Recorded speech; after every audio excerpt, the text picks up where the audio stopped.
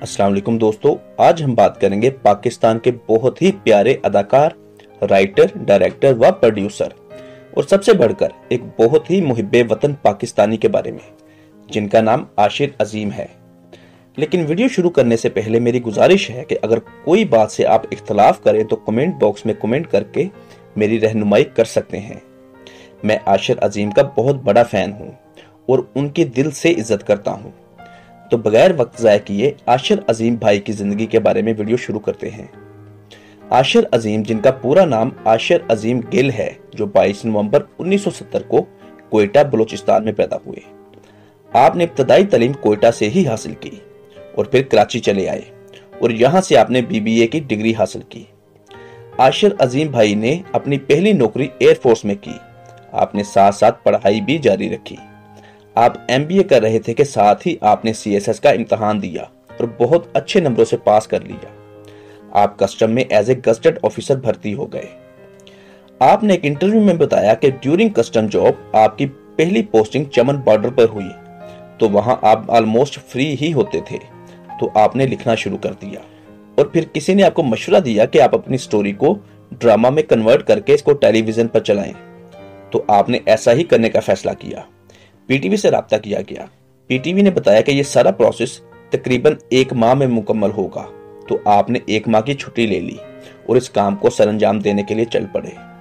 آپ نے جو ڈراما کی سٹوری لکھی تھی وہ ساری انگلش میں تھی اور پھر آپ نے اس کو سکرپٹ میں خود ہی کنورٹ کیا اور اس ڈرامے کو بنانے کا فیصلہ کیا۔ مذکورہ ڈرامے میں زیادہ تر اداکاری آپ کے ذاتی دوستوں نے کی۔ ڈرامے کا نام رکھا گیا دھواں، جو انیس سو چورانوے میں پی ٹی وی پر ریلیز ہوا۔ اور بہت ہی کامیاب ہوا۔ ڈراما سیریل دھواں کو پاکستان کے بہترین ڈراموں میں سے ایک کہا جائے تو شاید غلط نہ ہوگا۔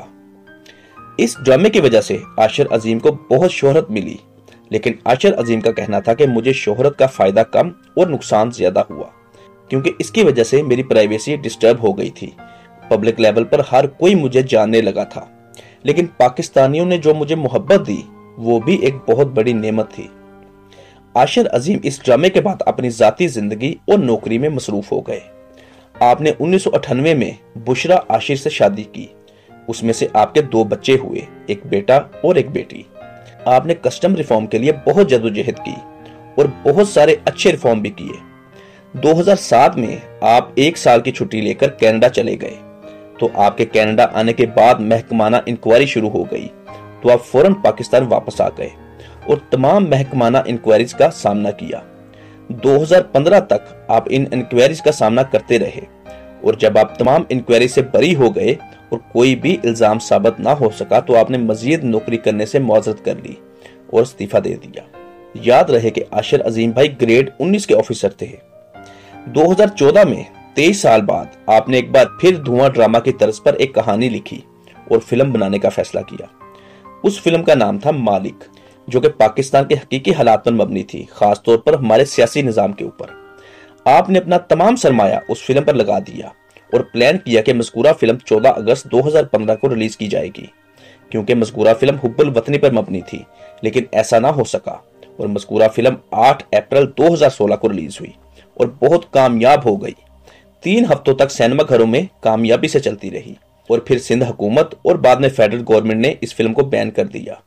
جس کی وجہ سے عاشر عظیم کو مالی طور پر بہت نقصان ہوا۔ پھر دو جولائی دو ہزار سترہ کو ٹویٹر اکاؤنٹ کے ذریعے معلوم ہوا کہ عاشر عظیم بھائی نے پاکستان چھوڑ دیا ہے اور اپنی فیملی کے ہمراہ کینیڈا شفٹ ہو گئے ہیں۔ اور وہاں پر آپ ٹرک چلا کر اپنے بچوں کی پرورش کر رہے ہیں۔ اور اس کام میں ہمیشہ کی طرح آپ کی بیوی بشرا عاشر بھی آپ کے ساتھ ہے یعنی وہ بھی ٹرک چلاتی ہیں۔ آخر میں عاشر عظیم صاحب کے وہ الفاظ جو آپ نے دھواں ڈرامہ میں کہے تھے اور مجھے یقین ہے کہ وہ صرف ڈائیلاگ نہیں تھے، بلکہ آپ کی زندگی کا مشن تھا۔ وہ الفاظ اس ویڈیو میں خاص طور پر عاشر عظیم بھائی کے لیے دہرانا چاہوں گا۔ جو لوگ اپنی حفاظت نہیں کر سکتے، وہ کیا کریں؟ کیا ہمارا یہ فرض نہیں بنتا کہ ہم تھوڑی سی دوسرے لوگوں کی بھی حفاظت کریں؟ پھر آپ نے کہا کہ کتا دو چیزوں پر لڑتا ہے۔ ایک اپنی ہڈی پہ، دوسرا اپنے گھر کی حفاظت۔ کیا ہم کتوں سے بھی بدتر ہو گئے ہیں؟ میری دعا ہے کہ اللہ پاک عاشر عظیم بھائی کو ہمیشہ ہنستا، مسکراتا اور خوش رکھے اور آپ کی فیملی کو ہر مصیبت سے دور رکھے۔ دوستو، اس ویڈیو کے متعلق اور میری ہر قسم کی رہنمائی کے لیے نیچے کمنٹ باکس میں ضرور لکھیے گا۔ یا بذریعہ ای میل جو کہ ڈسکرپشن میں آپ کو مل جائے گی، اس پر بھی مجھ سے رابطہ کر سکتے ہیں۔ اگر ہو سکے تو میرے چینل کو سبسکرائب بھی کر دیں۔ شکریہ۔ ملتے ہیں بہت جلد ایک اچھی اور نئی ویڈیو کے ساتھ۔ تب تک کے لیے اللہ حافظ۔ پاکستان زندہ باد۔